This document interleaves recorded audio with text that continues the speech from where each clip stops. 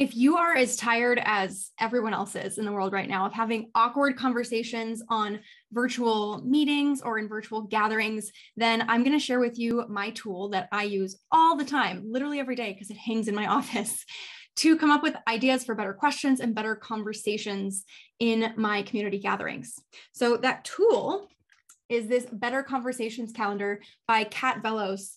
Um, came out for the first time in 2022. And Kat, I really hope that you make this over and over and over again because I don't know what I'm going to do without it. I'm just going to keep the same calendar on my wall year after year if you don't.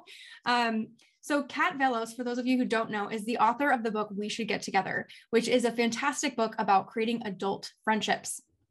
Now, so much of what Kat teaches is just as applicable in online communities as it is in our one to one friendships. So it's just about relationship creation. And that's what we're really doing as community builders at the end of the day. We're having to forge individual dyadic relationships, that means between us and one other person, as well as conversations and relationships that are getting formed between members that we may or may not have anything to do with. So this calendar I'm going to share with you a little bit about it. I don't want to give away too much because I think you should get your own copy.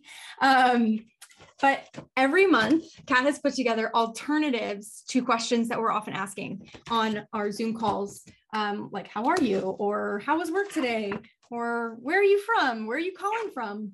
Things that you're probably really exhausted asking and answering. Um, and so there's just some really, really good prompts in here. Every single day, there's a new prompt so um, I use these even at home with my partner. Um, you know, what's your week been like instead of how are you doing? Um, just what's made you smile today?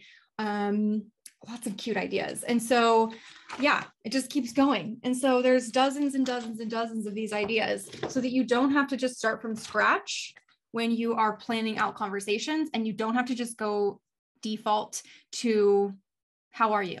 On your calls or whatever other scripts that we're putting out there. Okay, so definitely check this out. It's been recommended by Priya Parker as well, the author of um, The Art of Gathering. So, big, big fan of Priya's work. So, check this out. I highly recommend it if you are feeling at all exhausted by Zoom calls. All right, check it out. Let me know how it goes for you.